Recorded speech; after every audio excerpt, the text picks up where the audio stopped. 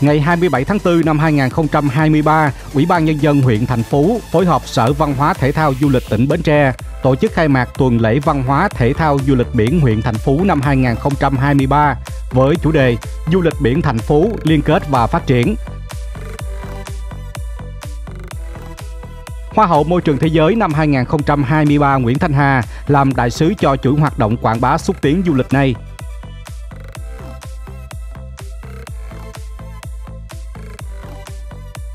Đến dự có nguyên Bí thư tỉnh ủy Bến Tre Võ Thành Hạo, Phó Bí thư Thường trực tỉnh ủy, Chủ tịch Hội đồng Nhân dân tỉnh Hồ Thị Hoàng Yến, Phó Chủ tịch Ủy ban Nhân dân tỉnh Nguyễn Thị Bé Mười, các sở ban ngành, đại biểu nguyên là lãnh đạo của tỉnh Bến Tre qua các thời kỳ, lãnh đạo huyện Thành Phú, tỉnh Bến Tre, vân vân. Đây là tuần lễ du lịch biển đầu tiên của tỉnh Bến Tre và tuần lễ văn hóa thể thao du lịch biển huyện thành phố diễn ra từ ngày 27 tháng 4 cho đến ngày 2 tháng 5 năm 2023 tại khu bảo tồn phát huy giá trị lịch sử di tích đường Hồ Chí Minh trên biển tại Bến Tre, tọa lạc tại xã Thạnh Hải, huyện Thành Phú, tỉnh Bến Tre. Thành phố xác định ba trụ cột nông nghiệp, công nghiệp và du lịch là nền tảng động lực cho kinh tế xã hội của nhà phát triển nhanh bền vững. Việc tổ chức tuần lễ văn hóa thể thao du lịch biển là sự quyết tâm của lãnh đạo huyện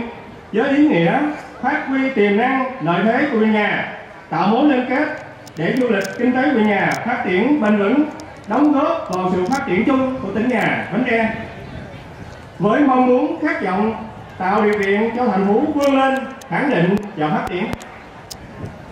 tuần lễ văn hóa thể thao du lịch huyện thành Phú bao gồm các hoạt động thương mại, triển lãm, ẩm thực biển phan thiết hội thảo, khánh thành công trình văn hóa, các hoạt động, hội thi, hội diễn, văn nghệ, vui chơi giải trí.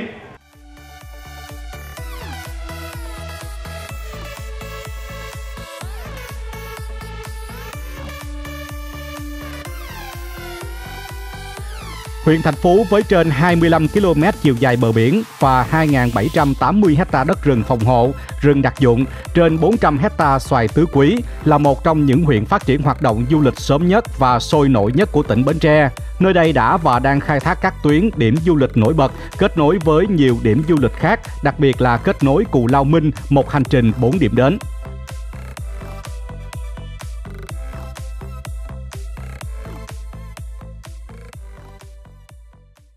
Vị trí cửa sông liên tục được bồi lắng, huyện Thành Phú còn là địa bàn của những bãi triều ven biển và khu bảo tồn thiên nhiên gần ngập mặn có giá trị như vùng điểm sinh thái đa dạng phong phú, nơi hội tụ của nền kinh tế đa dạng có biển, có rừng, có sông, những dãy dòng cát màu mỡ phì nhiêu, có nhiều sản phẩm nông nghiệp, thủy sản, đặc biệt là bãi biển Cùng Bửng, nơi đây với phong cảnh đẹp tự nhiên, quang sơ, môi trường sinh thái trong lành, nồng hậu tình cảm của người dân xứ biển và hiện nay đang là điểm du lịch vui chơi giải trí trải nghiệm hấp dẫn thu hút sự quan tâm của du khách trong và ngoài tỉnh với vai trò đại sứ cho tuần lễ văn hóa thể thao du lịch biển thành phố năm 2023, ngay trong ngày lễ khai mạc, Hoa hậu Môi trường Thế giới 2023 Nguyễn Thanh Hà đã gửi thông điệp về phát động phong trào bảo vệ môi trường trong phát triển du lịch biển Bến Tre. Thanh Hà cảm thấy rất là hạnh phúc cũng như là rất là tự hào khi mình được trở thành làm đại sứ cho tuần lễ văn hóa thể thao và du lịch biển thành phố năm 2023 ngày hôm nay.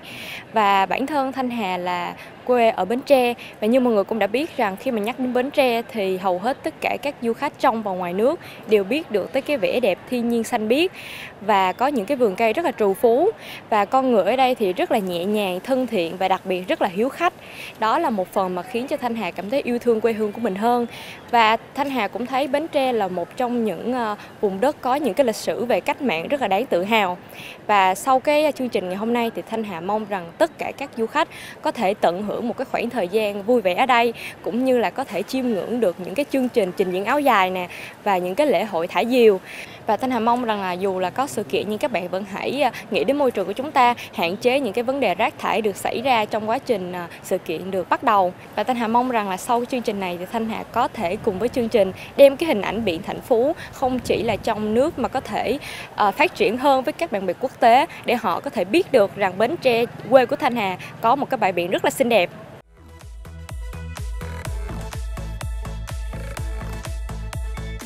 Qua sự kiện này, huyện thành phố mong muốn được du khách trong và ngoài nước đến tham quan du lịch để tìm hiểu khám phá những giá trị về văn hóa, di tích lịch sử, du lịch sinh thái, tâm linh cùng với hệ sinh thái thiên nhiên đa dạng, không khí trong lành với lòng hiếu khách, các dịch vụ du lịch ngày càng được cải thiện, đáp ứng tốt hơn nhu cầu của du khách.